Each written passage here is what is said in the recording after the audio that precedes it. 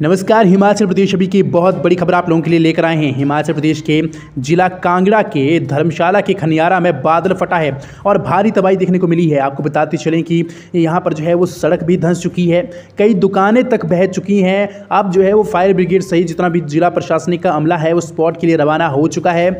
और कितना नुकसान हुआ है, इसका आकलन अभी किया जा रहा है। जानी नुकसान हुआ है या नहीं, इस सभी का आकलन अभी किया जा रहा है, क्योंकि मलबा इतना ज़्यादा है और इतना ज़्यादा जो है वो दुकान दुकानें मलबे में दब चुकी है कि इस बात का आकलन नहीं किया जा सका है कि जानी नुकसान हुआ या नहीं हुआ है।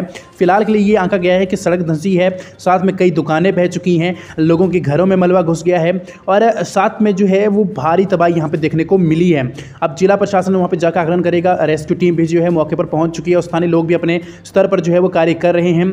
तो सभी लोगों से जो है वो अलर्ट यहाँ पर जारी किया गया था और सभी लोगों से ऐसी गुजारिश थी कि नदी नालों से दूर रही है क्योंकि धर्मशाला के आसपास के जितने भी नदी नाले वो उफान पर हैं और अन्य जो वहाँ पर भारी बारिश यहाँ पर देखने को मिल रही है, वहाँ पर भी नदी नाले उफान पर हैं।